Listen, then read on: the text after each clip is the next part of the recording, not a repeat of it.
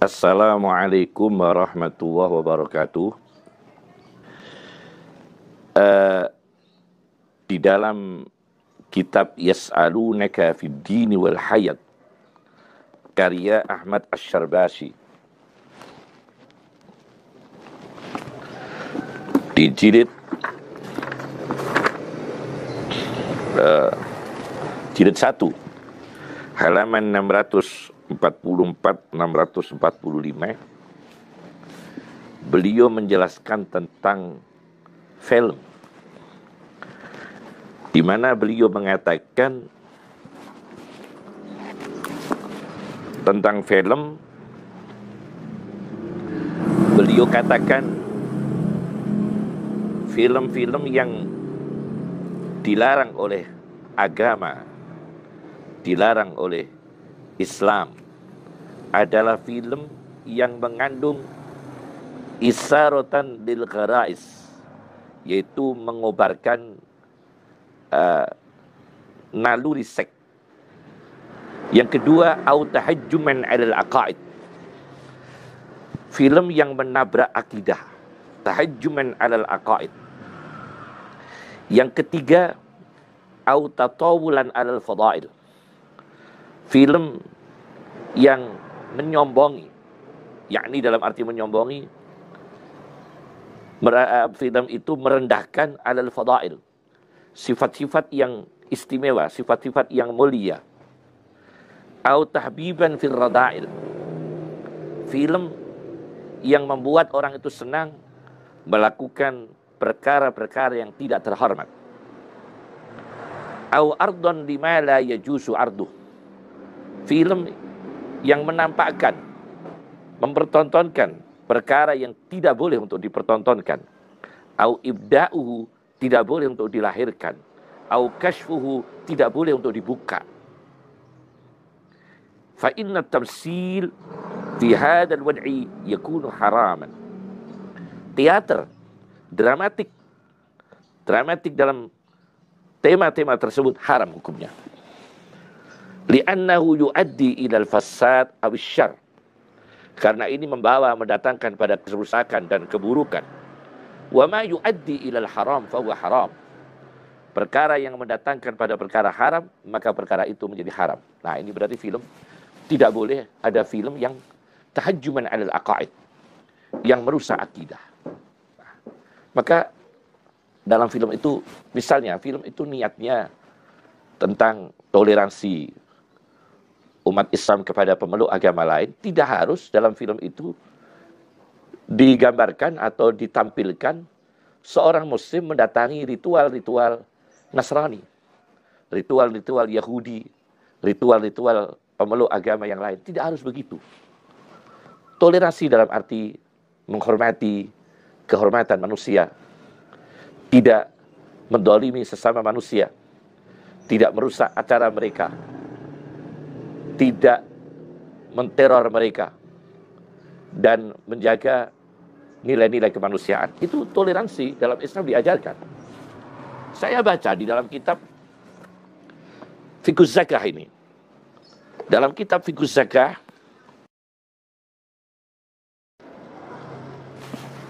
di jilid 2 halaman 882.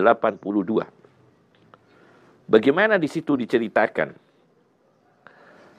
an kama annahu khina ra'a fi tariqihi ila Dimashq qauman majdumin minan nasara seperti sesungguhnya Umar ketika melihat di Damaskus orang-orang lepra yang beragama Nasrani. Sayyidina Umar di Damaskus melihat orang-orang lepra beragama Nasrani. Bagaimana Sayyidina Umar? Amara ayyurattaba lahum ayyurattaba lahum amara ayyurattaba lahum ma'ashun min baitil mal al-islami. Maka Sayyidina Umar segera memerintahkan untuk memberikan subsidi pertolongan kepada per, uh, penderita lepra meskipun mereka beragama Nasrani. Sayyidina Umar memerintahkan untuk memberikan subsidi dari Baitul Mal al-Islami. Dari kas negara Islam, perbendaharaan harta Islam. Ini Sayyidina Umar perlakuan manusiawi. Tidak harus Sayyidina Umar masuk ikut ritual mereka. Nah, di dalam satu kitab Al-Mughni Ibnu Qudamah. Al-Mughni Ibnu Qudamah. Jilid 8 halaman 114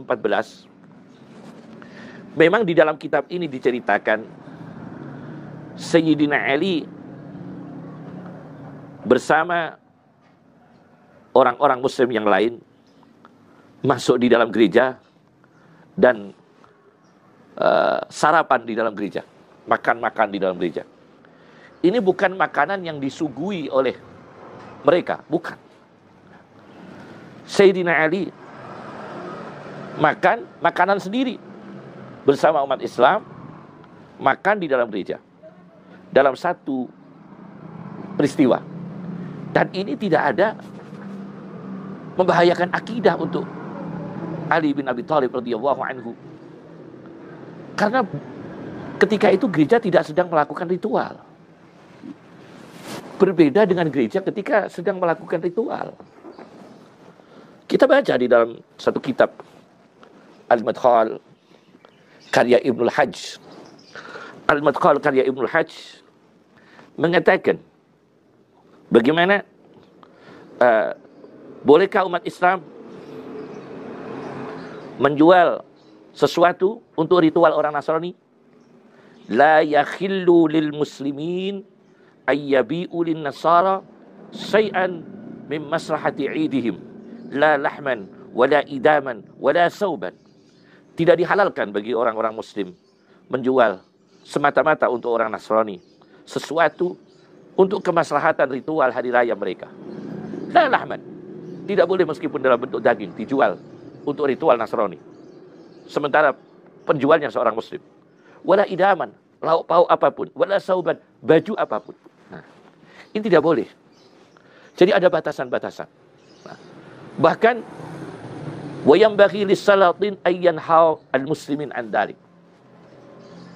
Selayaknya sepatutnya penguasa itu mencegah mencegah orang Islam menjual dagingnya, menjual baju, menjual apa pun benda untuk kepentingan ritual-ritual pemeluk agama lain. Semata-mata untuk kepentingan ritual. Tidak boleh. Justru kalau ada orang miskin, meskipun itu orang Nasrani, kita kasih makan, boleh. Tapi kalau dagingnya untuk kepentingan acara di gereja, ritual di gereja, kita tidak boleh. Supaya tidak kabur akidah. Tahajjuman adalah akaid. Begitu juga film. Tidak boleh menabrak akidah. Maka saya lanjutkan. Dr. Ahmad Asyarbasi dalam kitabnya yang kami sebutkan tadi, Yas'alunaka fid dini wal hayat. Beliau mengatakan, "Idza tadayyana rajulul fanni" apabila seniman, rajulul fanni, seorang seniman taat ajaran agama. Idza tadayyana rajulul fanni seorang seniman taat ajaran agama. Watafannana rajuluddin dan orang yang taat agama seorang seniman. Watafannana rajuluddin yang senimannya taat agama, yang taat agama seorang seniman. Maksudnya agama Islam. Iltaqoya fi muntasofit tariq. Maka kedua orang ini bisa dipertemukan. Bisa dipertemukan di tengah-tengah jalan fi muntasafit tariq li hidmatil aqidah al-karimah. Untuk melayani akidah untuk menyebarkan akidah yang mulia ini akidah Rasulullah akidah Rasulullah dan para sahabatnya. Wal fannis salim dan seni as-salim yang sehat yang selamat. Artinya sehat selamat yaitu tidak merusak akidah ini ada. Idza tadayyana rajulul fanni wa tafannana rajulud dini iltaqiya fi muntasafit tariq aqidah al-karimah wal fannis salim. Nah, jadi silahkan membuat film. Tapi film yang di situ ada rajuluddin. Seniman yang taat agama. Dan di situ ada rajuluddin, ada rajulul fanni yang tadayana. Maksud kami rajulul fanni yang tadayana. Seniman yang taat agama. Yang kedua ada rajuluddin yang tafannana. Ada orang taat agama yang seniman dikonsultasikan pada ulama dulu. Bagaimana dalam hukum Islam, bagaimana dalam syariat Islam. Di dalam kitab Al-Mawsu'ah Al-Fiqhiyah Al-Kuwaitiyah di jilid 12